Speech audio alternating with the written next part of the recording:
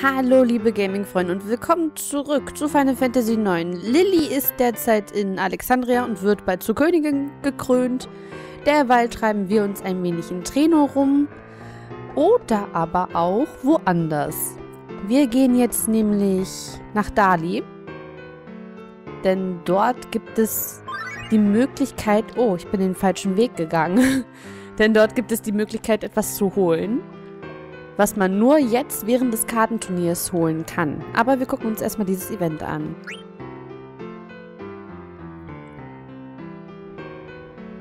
Vor kurzem ist es mir doch tatsächlich gelungen, eine lebensgroße Gryphon-Skulptur zu ersteigern.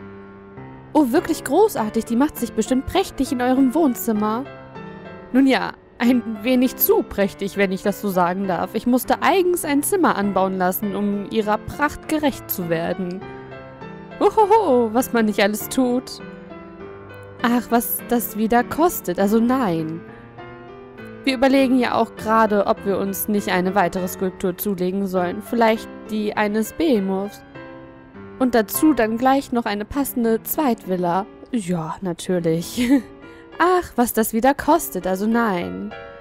Oh, wirklich köstlich. Hahaha. Kotz.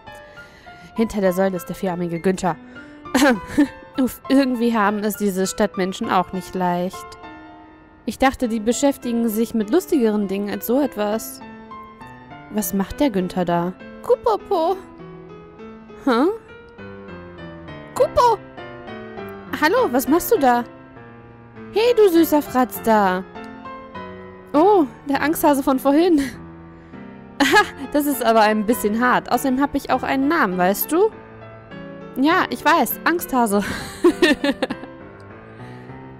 Ist recht. Aber sag mal, hast du nicht gerade was von lustigeren Dingen gemeint?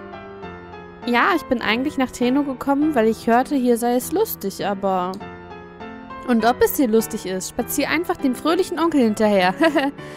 Ach, Herr Jemine. Keine Umstände, Alko findet sich schon allein zurecht. W warte doch.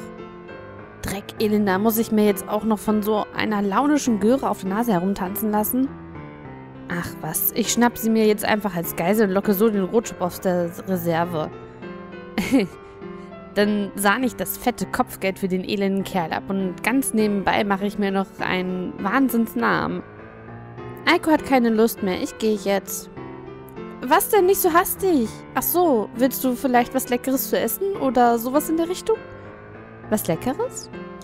Eiko. Queena! ja genau, was Leckeres. In Treno gibt es an jeder Straßenecke die feinsten Schlemmereien, glaub mir. Hast du denn schon mal Muso Trenola oder Seetang-Pasta probiert? Die feinsten Schlemmereien, Mams? ja, das sagte ich doch bereits. Hä? hm, Queena, wo kommst du denn her? Ja, das frage ich mich auch. Die feinsten Schlemmereien, Mampf? Was bist du denn für eine Gestalt? Ich will jetzt sofort die ganzen Schlemmereien eschen, Mampf.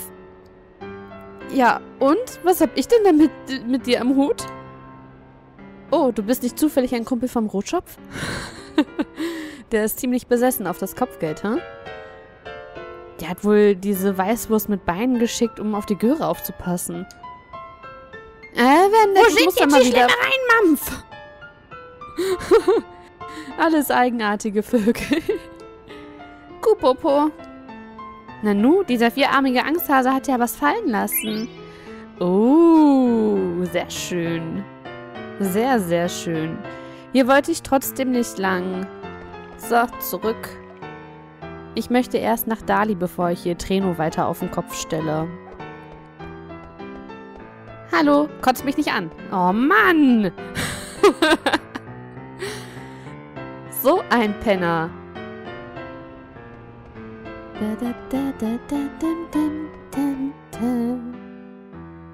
Nach Dali kommen wir ja von hier aus ganz einfach. Dazu müssen wir nur durch das untere Südentor. Oder ist es das untere? Nee, das mittlere. Also von der Höhe jetzt gesehen. Ach, egal. ich frage mich, ob wir nochmal durch die Höhle des ewigen Eises können. Das wäre doch mal interessant. Probiere ich gleich aus. Aber erstmal durch das Tor. Das hier ist wirklich Pipifax. Auf welchem Level waren wir, als wir hier waren? Auf Level 10 vielleicht? Also, keine Herausforderung. Absolut nicht.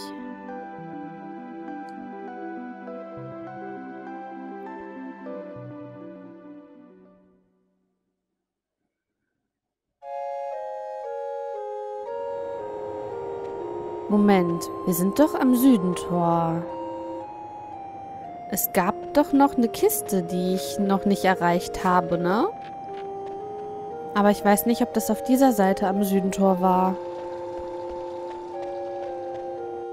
Muss ich gleich mal gucken. Nee, das war auf der anderen Seite. Kann ich vielleicht rüberfahren?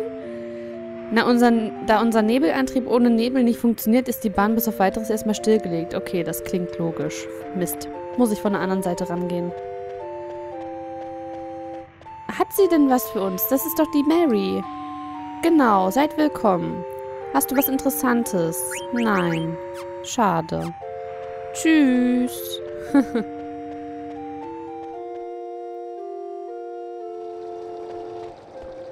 Dann gehen wir später nochmal auf der lindblumischen Seite zum Südentor, um an diese Kiste ranzukommen.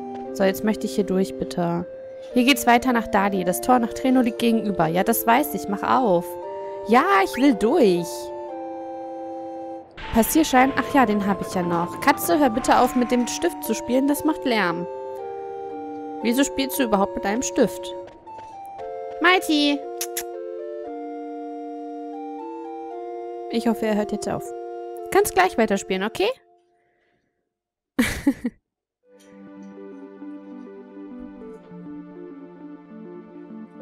so, schon sind wir auf der anderen Seite. Wupp, ich könnte... Ja, man kann da noch rein.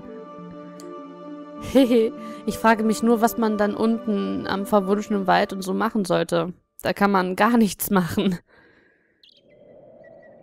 Interessant. Na gut, auf jeden Fall kann man noch in die Höhle. Wir wollen aber nach Dali.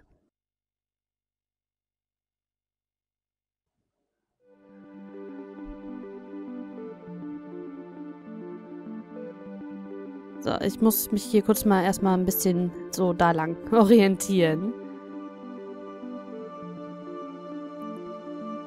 Hallo. Bin da.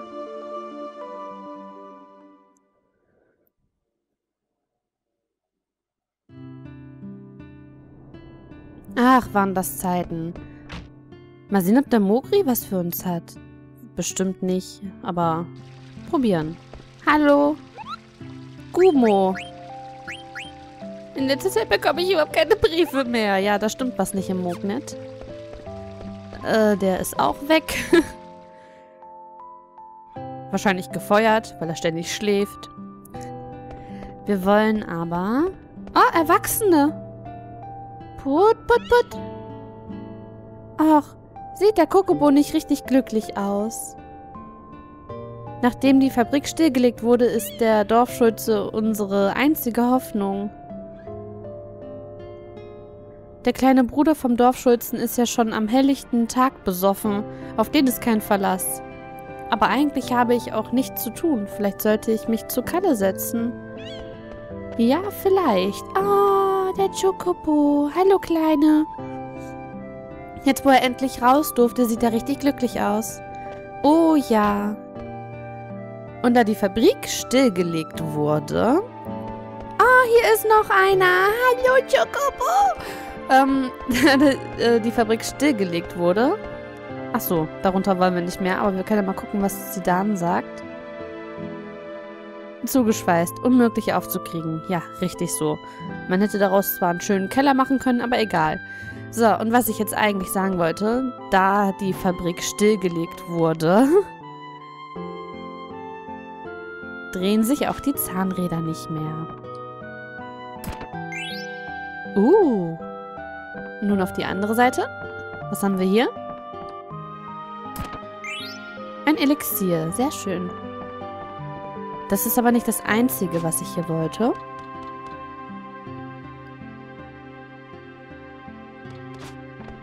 Ich wollte auch hier rein.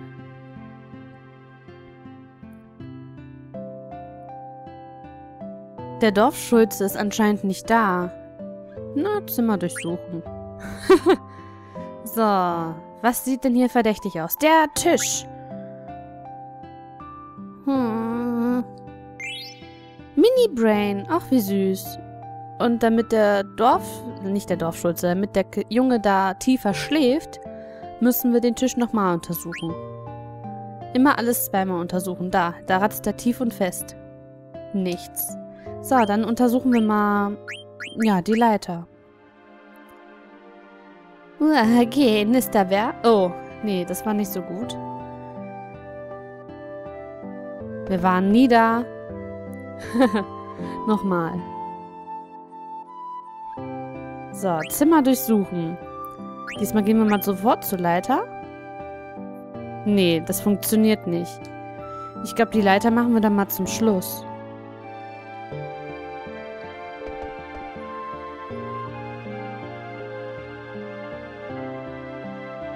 So, nochmal durchsuchen. Den Ofen. Wieso wacht er denn jetzt ständig auf? Moment. Das muss ich jetzt mal mehrmals ausprobieren. Zimmer durchsuchen. Okay, dann machen wir halt den Schrank. Nee. Okay, dann so Vielleicht von der anderen Seite. Gehen wir mal von der anderen Seite.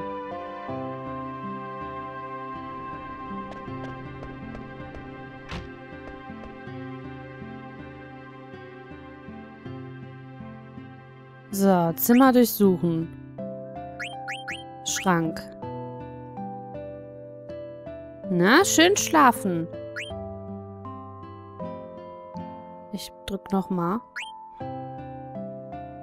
Schnarch. Schön schlafen. Okay, der Ofen. Und wie der schläft. Ein Schlüssel. Sehr schön. Trotzdem nochmal. Schnarch. Und jetzt die Leiter. Er schläft. Nochmal die Leiter. Nee, nichts. Aber wir haben den Schlüssel. Yay!